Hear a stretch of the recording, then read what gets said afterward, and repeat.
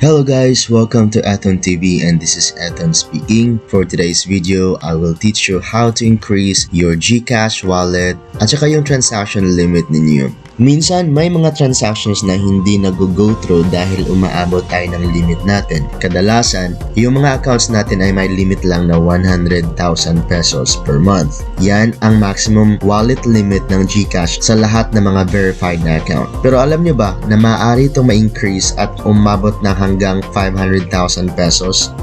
Di ba mas mataas mas magagamit nyo ang GCash ninyo sa inyong daily transactions, especially if you're using your GCash for your businesses. Panoorin at tapusin ang video ito upang malaman natin kung paano increase ang GCash wallet limit at saka yung transaction limit natin.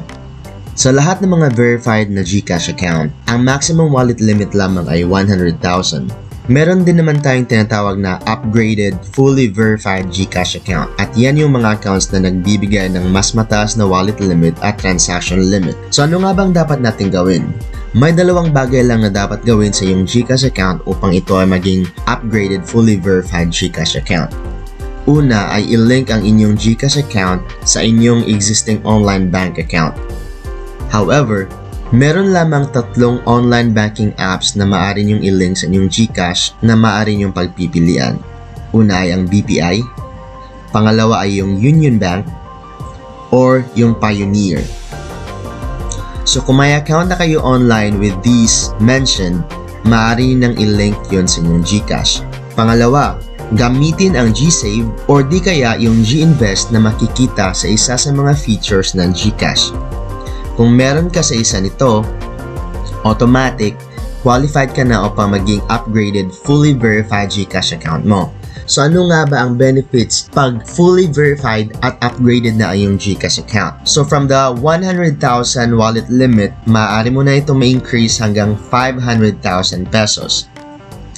For your daily transaction limit, ang iyong GCash account ay makakatanggap ng anumang amount as long as hindi ito lalagpas sa inyong wallet limit. For the daily outgoing limit, hindi magbabago from 100,000 pesos. It's going to be the same. It's going to be 100,000 pesos. Pero, yung monthly ongoing limit mo, instead of 100,000 pesos, maaari ka na magpadala hanggang 500,000 pesos which is also the maximum wallet limit ng iyong account. Tandaan na ang ating limit ay magre-reset every first day of the month. Kaya dapat i-manage natin ang ating transaction especially kung madami tayong activities.